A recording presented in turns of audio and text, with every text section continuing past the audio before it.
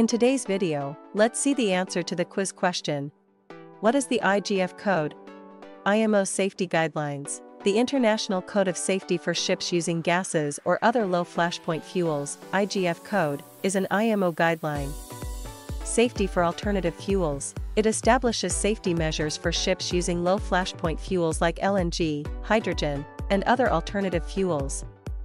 Technical Standards, it sets technical requirements for the design, construction, and operation of ships utilizing these fuels to ensure safety.